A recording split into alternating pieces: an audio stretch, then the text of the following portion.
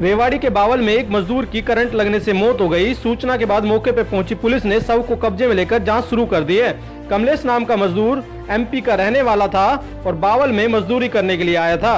आज सुबह नगर पालिका बावल का स्ट्रीट लाइट लगाने वाला ठेकेदार मजदूर को अपने साथ मजदूरी पे लेके गया था और झाबा रोड पर काम किया जा रहा था। तभी सीढ़ी बिजली की तारों से टकरा गई और मजदूर को करंट लग गया। जिससे वो बुरी तरह से झुलस गया और उसकी मौके पे मौत हो गई। वहीं पुलिस का कहना है कि शिकायत के आधार पर आगे की कार्रवाई की जाएगी। वो झाबुआ रोड पर। झाबुआ रोड पर। अच्छा। क्या काम कर रहे थे? ये पोल खड़े कर रहे थे। बिजली के पोल खड़े कर रहे थे। फिर क्या हुआ? वहाँ हम लोग सीढ़ी चढ़ा रहे थे।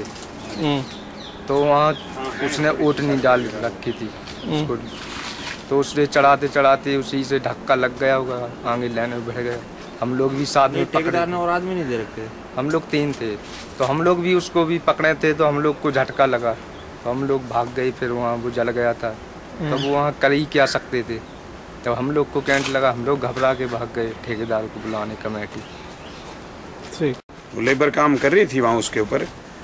सड़क पे जो पाइप जो खंबे लगा रहे हैं लाइट वाले तो उसमें उसमें लेबर में कर, करते करते इनको ध्यान नहीं रहा ऊपर से तार थे तार में सीढ़ी लग गई। हम्म, सीढ़ी लगने से इसको जल गया वहीं पे मौके पर। अच्छा कौन है ये? अखिलेश नाम है एमपी का बताते हैं। वैसे बाकी अभी शिनाख्त पूरी नहीं हो पाई। तो ये कहाँ इसमें कॉन्ट्रैक्टर कौन था और किस तरह के बिजली की पोल थी जिसको लगा रहा था ये? और लेके कौन गया था इसको? वो तो ठेकेदार लेके गया था अभी कर रहे हैं। जाँच कंप्लीट रिपोर्ट मिलेगी तब बताएँगे आपको अभी। पूरा इसमें कोई शिकायत मिली नहीं नहीं क्या? अभी कोई शिकायत नहीं मिली। क्या